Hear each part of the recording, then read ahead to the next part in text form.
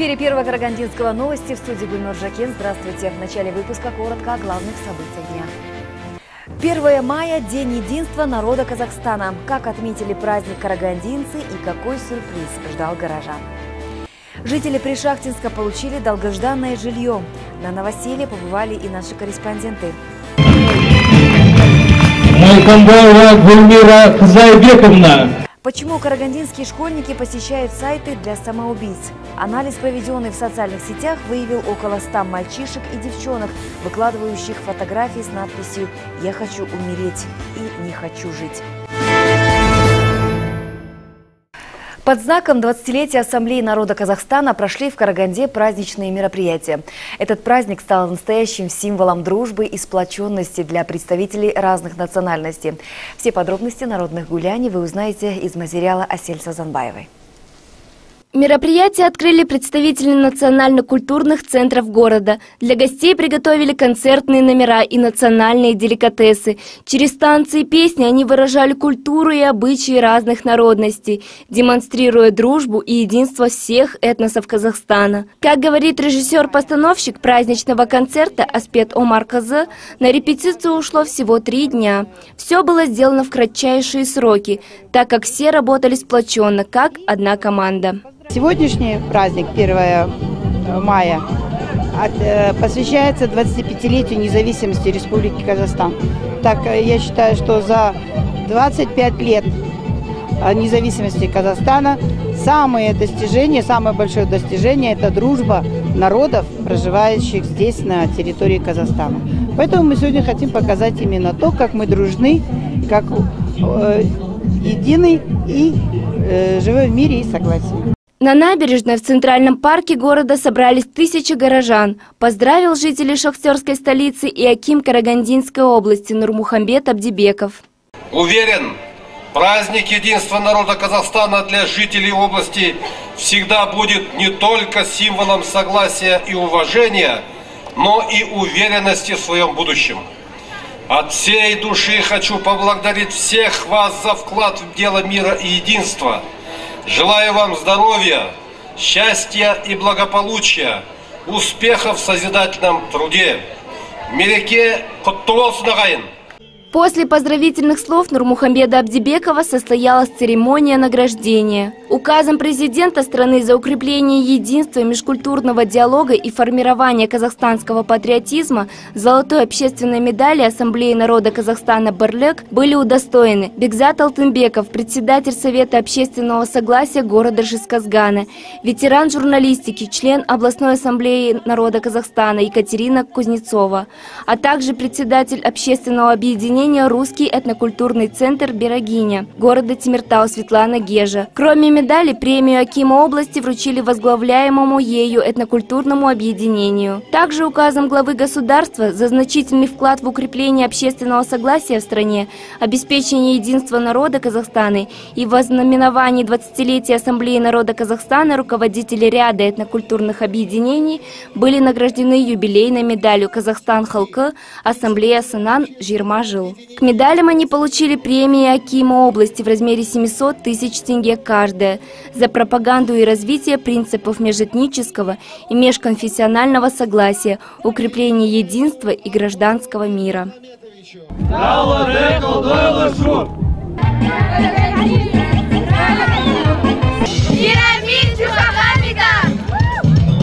С праздником вас! Праздник продолжился фестивалем национальных культур «Шанырак дружбы», концертной программой студенческой молодежи и выступлениями артистов концертного объединения имени Кали Байжанова. Асель Сазамбаева, Жаксалык Нуртай, Александр Царикидзе, Первый Карагандинский. В канун Дня единства народа Казахстана 30 семей в Пришахтинске получили ключи от квартир из рук Акима области Нурмухамбета Абдибекова. Три многоэтажных дома по улице Кемеровская были сданы в рамках программы развития регионов до 2020 года через казахстанскую ипотечную компанию.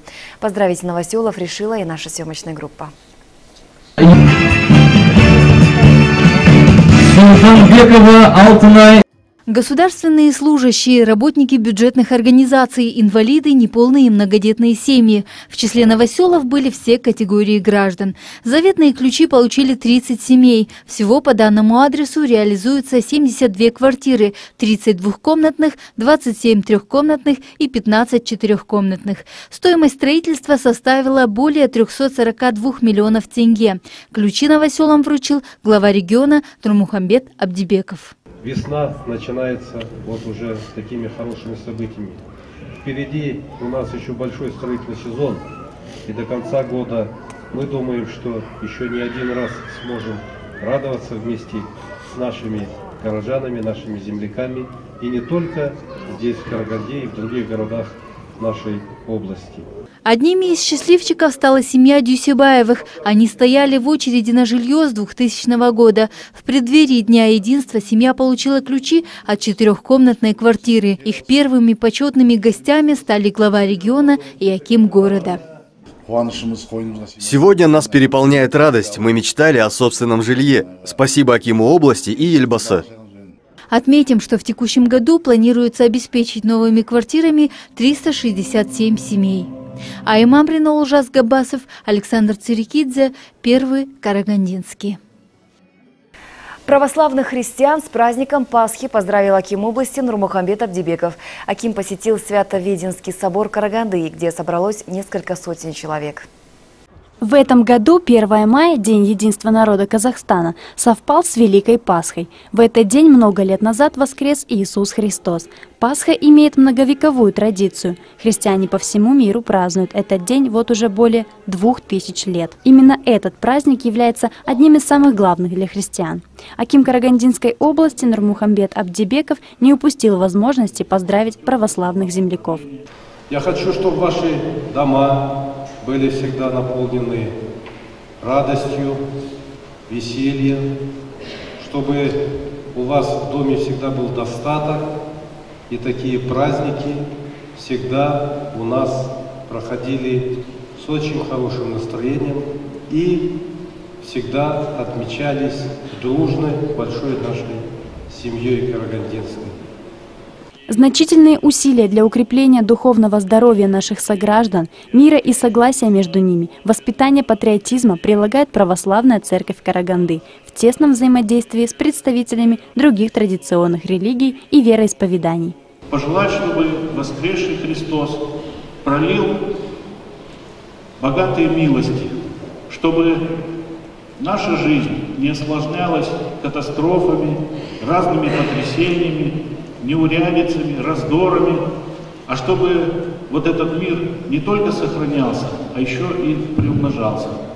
Глава региона напомнил, что мы все являемся одним народом, одной страной, связанной одной судьбой. Казахстанский путь развития – это путь мира и согласия. Екатерина Афанасьева, Исламбек Аспан, Александр Цирикидзе, Первый Карагандинский. Прервемся на короткую рекламу, а после продолжим выпуск. Оставайтесь с нами. Спонсор показа Galaxy Group, производитель продукции торговых марок Алюгал, Галвин, Херкюль. Галвин. Оконные системы А-класса. Долговечность 60 лет. Галвин. Морозостойкий, надежный, прочный. Для тех, кто ценит качество.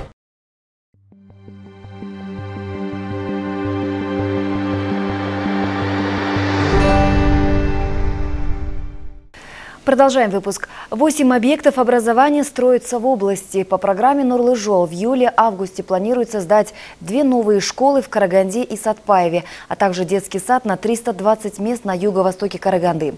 Первый заместитель Акима области Асалбек Дюсюбаев проверил, на каком этапе находятся строительные работы. 3 мая первый заместитель Акима области Асылбек Дусибаев посетил два строящихся объекта образования в микрорайоне Кендала. Детский сад на 320 мест, общая конкурсная стоимость которого составила около 694 миллионов тенге, и общеобразовательную школу на 1200 ученических мест стоимостью более полутора миллиардов тенге.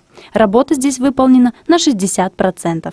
По проекту «Новая школа», новый проект – в принципе, в Караганде такого проекта нет у зданий. Современные, архитектурные, вот сами видели, заходили. Там с большим холлом, с большим пространством. Куп, купольный этаж стеклянный, купольная крыша. Сейчас э, процент готовности более 60% составляет. Сейчас уже ведется чистовая отделка зданий. Первая партия оборудования поступила в детский садик. Идет работа по благоустройству, делаются специальные ограждения. Завершение строительства детского сада на 320 мест и общеобразовательной школы на 1200 ученических мест планируется на июль 2016 года. Работы ведутся согласно утвержденным проектам и графикам. Екатерина Афанасьева, Александр Царикидзе, Первый Карагандинский. Карагандинцы очень тепло встретили легендарный проект «Народное караоке» с хором турецкого. Команда музыкантов открыла свой концерт с песней на казахском языке «Аулым». Выступление хора не пропустил и Аким Караганды Нурлан Аубакиров. Градоначальник лично поблагодарил руководителя коллектива Михаила Турецкого за то, что гастроли по Казахстану хор начал с шахтерской столицы.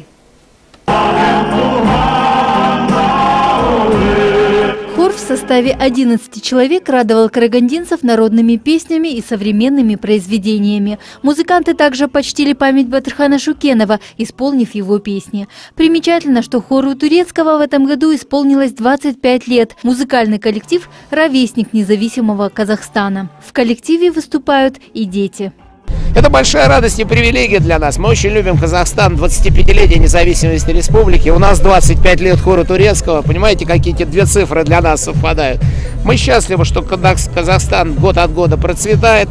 Вот даже мы здесь были на 50-летии казахстанской магнитки, это было около пяти лет назад. И за эти годы Караганда очень изменилась, город изменился. Есть серьезное продвижение вперед. Народное караоке порадовало карагандинцев благодаря усилиям местных чиновников. Аким города Нурлан Аубакиров также присутствовал на концерте. Карагандинцы, благодарные слушатели, карагандинцы – это просто лучшие люди на свете. Поэтому я думаю, вы сможете сегодня нашим горожанам подарить прекрасный подарок. Ваше творчество. Спасибо вам. Участники хора рассказали, что провели народное караоке уже в нескольких городах-миллионниках России и получили колоссальный успех. В Казахстане они посетят несколько городов. Это Караганда, Усть-Каменогорск, Алматы, Шымкент. А 6 июля, в день столицы, хор выступит в Астане.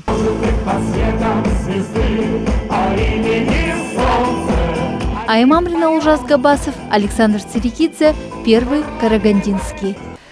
Прокуроры Караганды призывают граждан чаще признаваться детям в любви. Это поможет избежать многих проблем, связанных с подростковым периодом, ранним половым созреванием и мыслями о суициде, уверены они. Ведь ни для кого не секрет, что в последнее время в обществе все чаще появляется информация о педофилах и самоубийствах. По приведенным данным, за истекший период текущего года по району имени Казбекби совершено 13 преступлений против детей. Девять фактов из 13 зарегистрированы по статье «Развращение малолетних», а в остальных четырех случаях имело место половое сношение или иные действия сексуального характера с несовершеннолетними.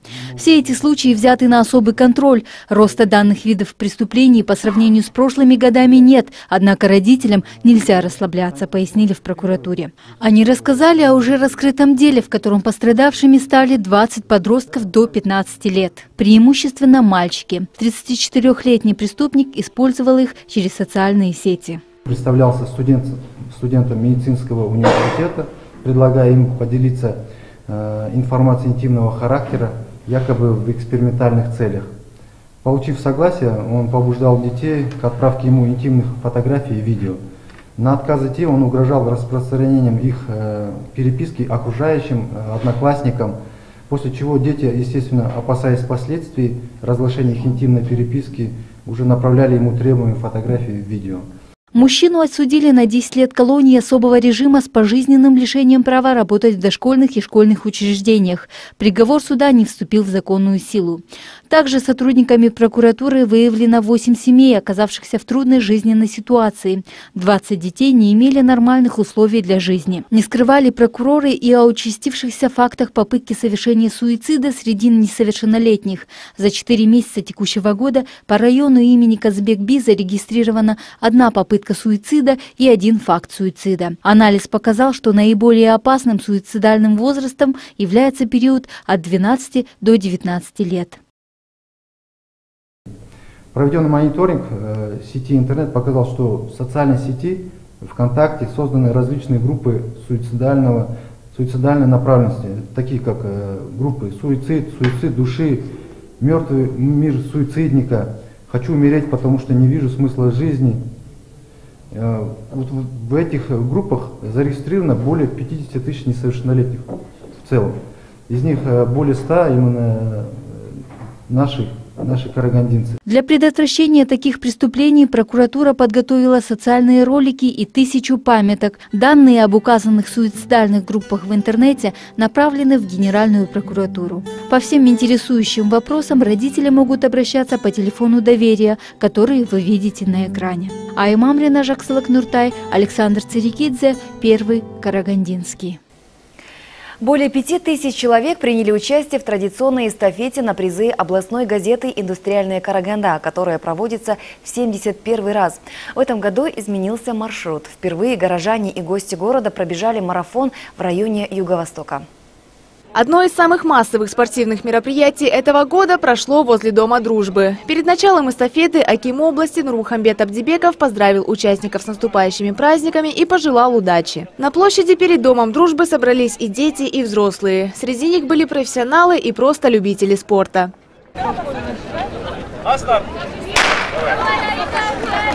Ежегодная эстафета в честь великого праздника Дня Победы в этом году проводится в 71 раз.